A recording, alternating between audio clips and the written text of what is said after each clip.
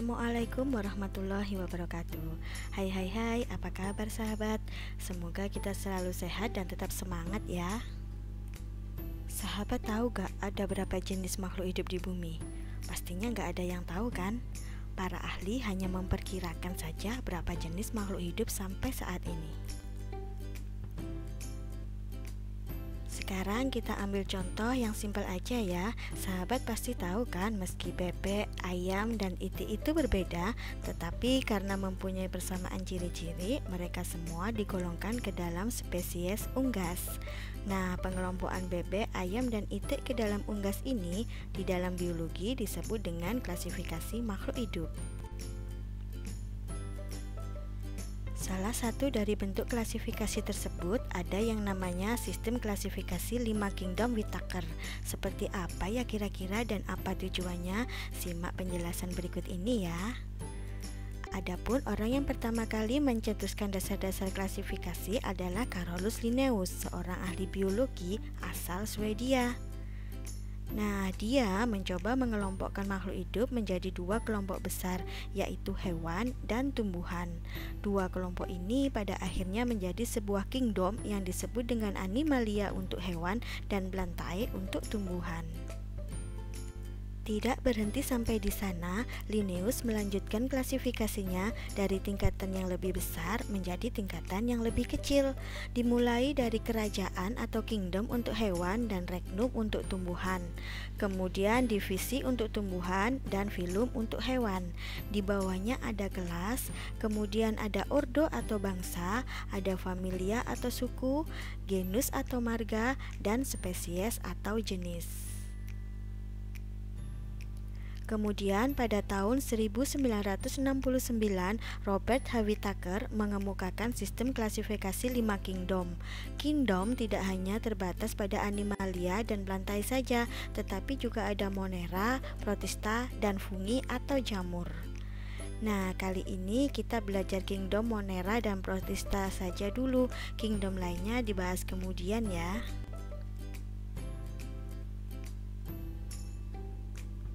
Kingdom Monera. Monera berasal dari bahasa Yunani moneres yang artinya tunggal.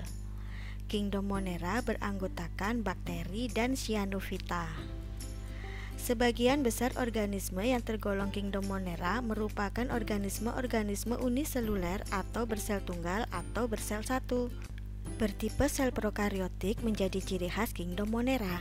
Prokariotik adalah organisme yang tidak memiliki membran inti sel. Inti sel yang dimiliki hanya berupa satu molekul DNA tanpa membran yang disebut dengan nukleoid. Karenanya nama lain dari Monera adalah prokariota. Menurut para ilmuwan dunia, organisme prokariotik telah hidup di bumi sejak sekitar 2 miliar tahun yang lalu dan sampai sekarang masih terus berevolusi. Organisme prokariotik ini merupakan awal dari organisme lain yang hidup di bumi.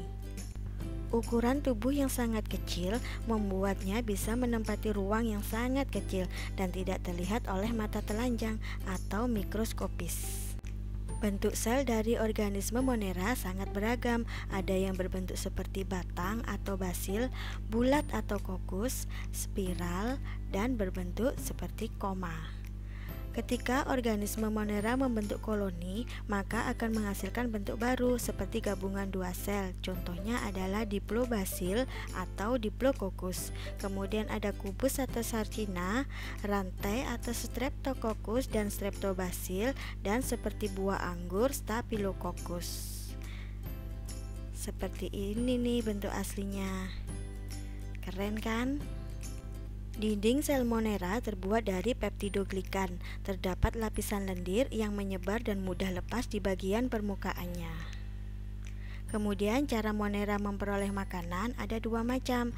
Yang pertama yaitu autotrof. Monera yang bersifat autotrof mampu menghasilkan makanan sendiri melalui proses fotosintesis atau kemosintesis.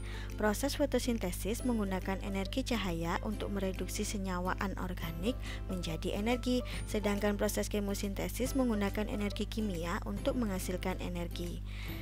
Cara yang kedua adalah heterotrof. Monera yang bersifat heterotrof tidak bisa menghasilkan makanannya sendiri. Mereka mengambil zat makanan dari organisme lain dengan jalan saprofit atau parasit.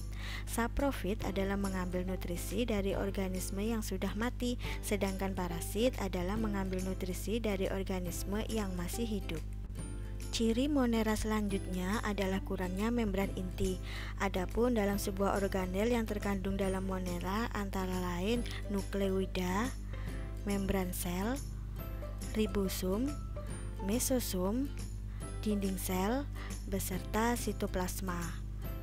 Monera tidak mempunyai organel lainnya, misalnya retikulum endoplasma, kloroplas, mitokondria, lisosom, badan Golgi, dan vakuola.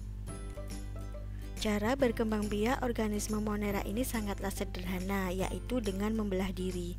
Individu baru terbentuk dari pembelahan induknya hanya dalam waktu yang sangat singkat, seperti bakteri Escherichia yang waktu generasinya hanya 20 menit saja. Karena itulah Monera merupakan organisme yang paling banyak menghuni bumi walaupun dibandingkan dengan spesies eukariotik. Ciri Monera selanjutnya adalah kosmopolit, yaitu habitatnya meliputi daerah yang luas. Seperti yang sudah disebutkan tadi, Kingdom Monera terdiri atas bakteri dan cyanophyta atau alga biru. Nah, kelompok bakteri ini mempunyai ciri-ciri mikroskopis sehingga hanya bisa dilihat dengan mikroskop, mempunyai dinding sel uniseluler atau bersel satu, bersifat prokaryotik atau tidak memiliki membran, kosmopolit atau habitatnya meliputi daerah yang luas dan hidupnya secara berkoloni. Bakteri itu ada yang menguntungkan dan ada yang merugikan. Lihat, itu bakteri Salmonella typhi. Bakteri ini menyebabkan penyakit tifus. Sedangkan ini Mycobacterium tuberculosis. Bakteri ini menyebabkan penyakit TBC. Nah, kalau yang itu bakteri Escherichia coli yang hidup di usus besar kita. Dia berperan penting dalam memproses pembusukan makanan dan juga penghasil vitamin K yang berguna untuk tubuh. Cyanophyta atau alga biru. Ciri-cirinya mikroskopis, artinya hanya bisa dilihat dengan menggunakan mikroskop. Kemudian ada yang bersifat uniseluler dan multiseluler, mempunyai klorofil sehingga dapat membuat makanannya sendiri atau autotrof. Klorofil tidak di kloroplas tetapi tersebar di sitoplasma. Ciri cyanophyta selanjutnya adalah bersifat prokaryotik, kemudian mempunyai dinding sel peptidoglikan dan biasanya sahabat bisa menemukannya di air tawar atau air laut, bisa juga ditemukan di tempat lembab. Beberapa contohnya adalah Chorococcus yang menghasilkan oksigen, kemudian ada Gleocapsa yang ditemukan pada batu basah atau pot tanaman, akibatnya batu jadi licin. Kemudian ada Oscillatoria juga banyak ditemukan di kolam dan air tawar. Ada Rivularia sp yang berbentuk seperti cambuk. Kemudian ada Anabaina sp yang dapat bersimbiosis dengan akar tumbuhan sehingga menyuburkan tanaman. Kemudian ada lagi Gliotrichia yang menyebabkan habitatnya jadi licin. Baiklah, kita bahas kingdom selanjutnya ya, yaitu kingdom Protista. Tunggu-tunggu, coba lihat deh Kok tepi pantai ini bercahaya ya, seperti ada lampunya, bener gak sih? Lah, itu sih bukan lampu, itu fenomena bioluminescensi, yaitu produksi cahaya yang dipancarkan oleh makhluk hidup dari kingdom protista. Yuk kenalan dengan protista. Sahabat bisa menemukan protista di air tawar maupun ada di air laut. Protista merupakan kelompok makhluk hidup yang mirip dengan Kingdom Monera. Perbedaan utamanya hanyalah pada membran intinya. Berbeda dengan Monera, Kingdom Protista memiliki membran inti atau eukariotik. Ukurannya tergolong cukup beragam, mulai dari yang berukuran mikroskopis sampai yang berukuran makroskopis atau dapat dilihat tanpa bantuan mikroskop. Contoh protista mikroskopis ada amuba, euglena, paramecium, Phytophthora investan. Kemudian ada juga Dictyostelium discoideum, Saprolegnia, dan Pisarum polycephalum. Sementara untuk protista makroskopis ada Eusebia spinosum, Gracilaria sp, alga hijau, alga coklat. Sebenarnya ciri-ciri dari kingdom protista ini cukup beragam. Ada beberapa makhluk hidup yang bersel satu atau uniseluler dan ada juga yang bersel banyak atau multiseluler. Protista berkembang biak secara aseksual dan secara seksual. Ada yang sifatnya menyerupai hewan dengan ciri-ciri tidak dapat membuat makanannya sendiri. Kemudian ada yang sifatnya menyerupai tumbuhan, cirinya mampu membuat makanan sendiri dan ada juga yang menyerupai jamur. Kelompok protista yang menyerupai hewan disebut dengan protozoa, sementara yang menyerupai tumbuhan disebut dengan alga.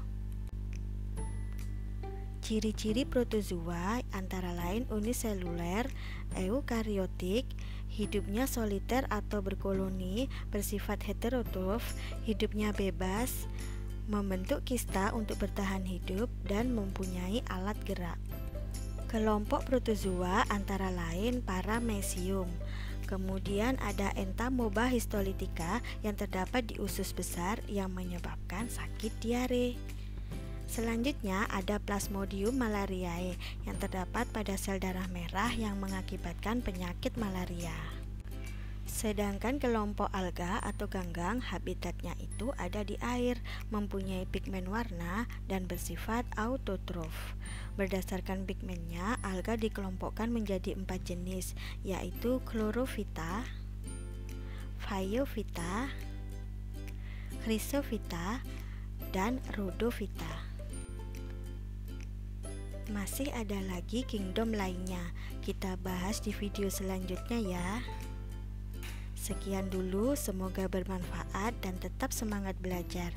Terima kasih. Wassalamualaikum warahmatullahi wabarakatuh.